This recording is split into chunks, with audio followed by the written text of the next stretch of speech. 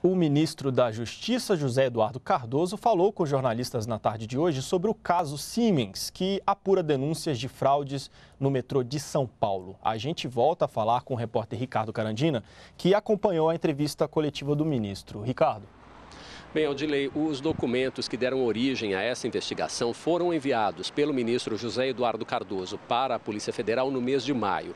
Outra investigação sobre o mesmo assunto está sendo feita pelo CAD, o Conselho Administrativo de Defesa Econômica. Isso porque a Siemens, uma das empresas envolvidas nas suspeitas, ela fez um acordo para prestar informações em troca de redução nas penas que ela pode sofrer caso seja comprovada a formação de cartel, que é um acordo feito em entre empresas concorrentes para superfaturar ou para aumentar o preço de produtos e serviços. Como envolve empresas multinacionais, este caso também já foi investigado pela Justiça de outros países. Aqui no Brasil, o ministro José Eduardo Cardoso informou que a investigação está protegida por sigilo e que só depois das apurações da Polícia Federal é que vai ser possível saber se os fatos que estão narrados nos documentos são verdadeiros ou não.